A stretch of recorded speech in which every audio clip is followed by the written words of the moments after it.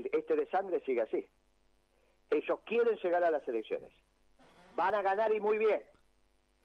Y en los 40 días que hay entre la primera vuelta que ya ganaron y la Asunción, que es el 10 de diciembre, te van a empezar a hablar y grabar esto que estamos diciendo, ¿eh?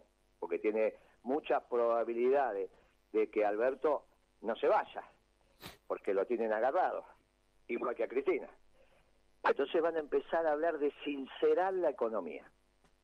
Y ese sincerar la economía en esos cuatro, 40 días es donde la economía te va a llegar a 70% de pobres. A partir de ahí empieza a trabajar la oposición y te empieza a bajar la pobreza. ¿Hasta dónde? Y hasta el 30%. Y ahí te transforman el 30% en pobreza estructural. Te hacen de la Argentina Brasil.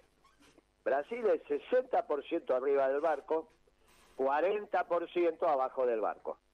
Es desde ahí el problema que tenés con la oposición, que arranca con una pobreza del 70%, echándole la culpa al peronismo, toda la radio, la televisión, los periodistas, todo, todos explicando que el 70% es culpa del peronismo.